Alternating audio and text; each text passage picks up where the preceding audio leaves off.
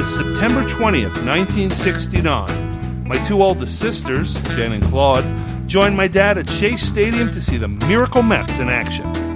It was fate they were going to win it all that year, but not on this day. The Pittsburgh Pirates' Bob Moose wasn't looking to help the Mets capture a pennant. The 21 year old right hander threw a no hitter, and my dad, Claude, and Jen witnessed history. I was an 11 month old baby, and dad left me at home with mom that day.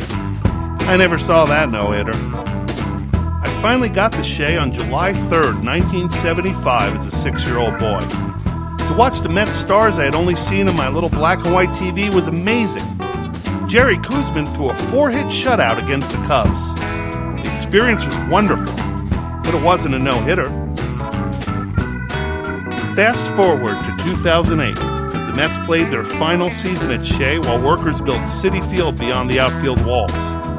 The Mets won this game too, but it wasn't a no hitter. In fact, it never was. 47 years of history, 7,482 games, and no no hitter. That dubious curse inspired my website, no no hitters.com. And the count kept ticking. And the blog grew in popularity 7,500 games with no no hitter, 8,000 games. And then this man, Johan Santana, threw the first Mets no hitter.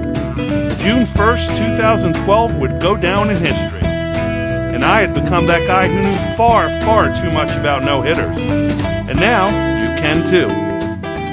Baseball's No Hit Wonders More Than a Century of Pitching's Greatest Feats by Dirk Lammers.